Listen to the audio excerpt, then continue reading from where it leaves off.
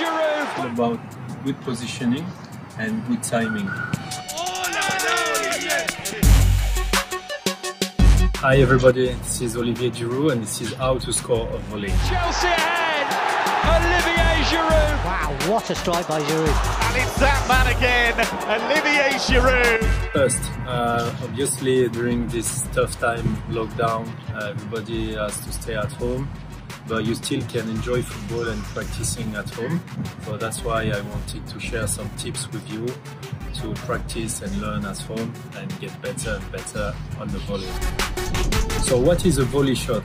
A volley shot is kind of um, when you hit the ball, you shoot the ball but without bounce. So you hit the ball um, when the ball is in the air. In the air, always keep the ball with your eyes line. Your body has to be um, kind of shoulders in front of the goal. The goal is here. If you receive the ball on the right side, for example, it's not nice to be like that. You have to face the goal all the time. Your arms are very very important regarding the balance you will uh, you will need for hitting well the ball. You need to have a great balance. So always look at the ball. Have a great balance on your stepping foot, so right foot for me, and then hit the ball when it's not too high. For example, here is too high. Here is maybe too low. So I would say um, this height is perfect. Giroud, and that is a stunning goal. And then hit the ball with the outside of your foot.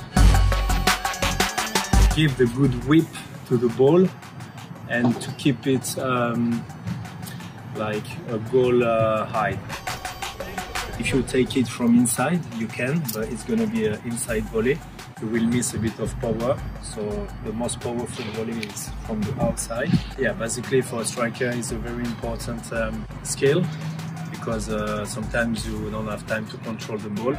So you have to uh, you have to finish in first touch, you know. And for example, from my point of view, it's what I prefer the most: finishing first touch. Chelsea ahead. Olivier Giroud. It's quite hard to, uh, to practice to get it perfectly, but it's all about uh, training hard and practicing a lot. Your body has to be um, shoulders in front of the goal. Your arms are very, very important regarding the balance. Hit the ball with the outside of your foot.